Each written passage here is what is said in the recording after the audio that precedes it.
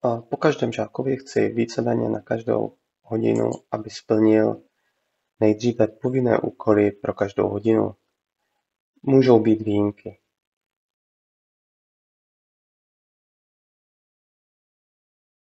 Tady je napsáno, že jednoduchou variantou úkolu 1.2, což jsou tyhle dva úkoly, je, když si moji stránku s úkoly pro daný den skopíruje.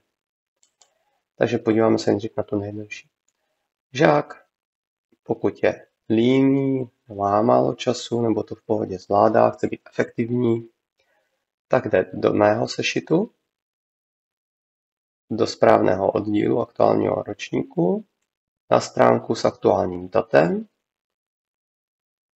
označí si stránku, kterou chce, pravým tlačítkem kopírovat, najedu do svého žákovského sešitu a v poli se stránkami kliknu pravým tlačítkem a dám vložit. A mám tady splněný první úkol i druhý. Cíle nepožaduji, takže ty může klidně žák smazat, aspoň budou nejnovější věci nahoře a má tady úkoly. Stránku bez názvu pravým tlačítkem odstraním.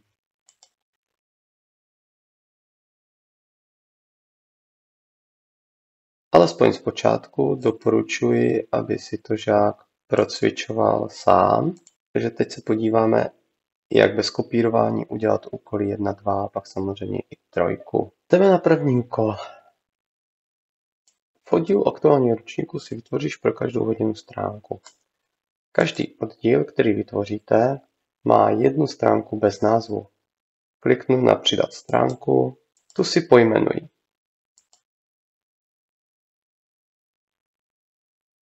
Název začne aktuálním datem a pokračuje stručnou charakteristikou hodiny. Takže dneska máme dělat operace v informatice číslo 2. Aktuální datum 4.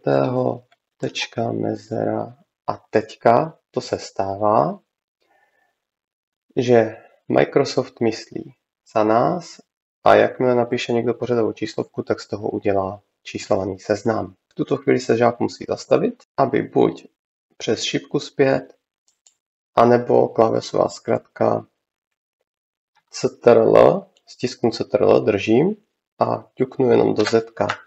Tak mi vrátí vytvoření toho číslovaného seznamu a mohu pokračovat dál. Desátý.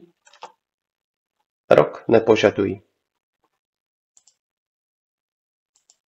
Tím jsem splnil, že mám název začne aktuálním datem a má pokračovat stručnou charakteristikou hodiny. Operace v e-informatice. Buď to napíšu, anebo si skopíruju klidně tohle, případně si žák může vymyslet svoje. Buď dám ctrl skopírované, anebo vymyslím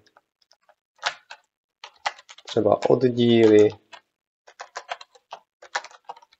ve OneNote. To dneska mám dělat, jsou tam i stránky. Mám jako kdyby téma hodiny. Takže název stránky je aktuální datum a nějaké téma, charakteristika té práce, aby bylo vidět z názvu, co jsem dělal, co mě tady v téhle stránce čeká, co tam učitel najde. Tak je požadavek, aby aktuální stránka, nejnovější, byla vždycky nahoře. Stejně jako oddíly jsme přesunovali, tak zase levým tlačítkem myši stisknu a držím a přesunu nahoru, aby nejnovější práce byla zde. Vrátím se do povinných úkolů. Mám to jako v ukázce, mám splněný úkol číslo 1. Typografické pravidlo.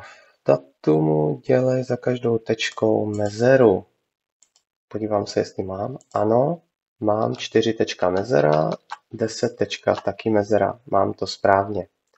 Žáci často píší takhle, někdy takhle, a někdy ještě horší varianta, tady bez tečky, to znamená, že desítka v tuto chvíli není pořadovou číslovkou, takže mám akorát 4.10 nebo 4.10. Musí být mezera, zase Ctrl a nebo tady ta šipka zpět a vrátím jednu operaci. A mohu jít na druhý krok.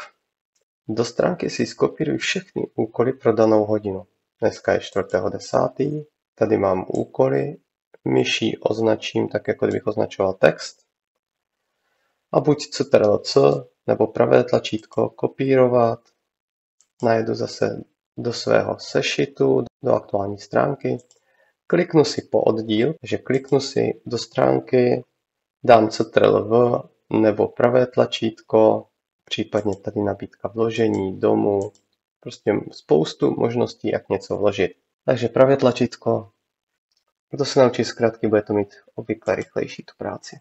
CTRL-V mám a mám tady všechny úkoly. Vrátím se zpátky do těch povinných úkolů a teďka v nejlepším případě si splněný úkol odškrtni. Takže už mám splněné v podstatě všechny povinné úkoly a jakmile je začnu plnit, tak si je budu odškrtávat. Právě jsem udělal povinné úkoly pro každou hodinu. Odškrtnu, tohle dělá každou, pokud neřeknu jakoukoliv výjimku. No a teď, když mám povinné úkoly jako žák, student, pokusník, tak začnu plnit jeden úkol za druhým.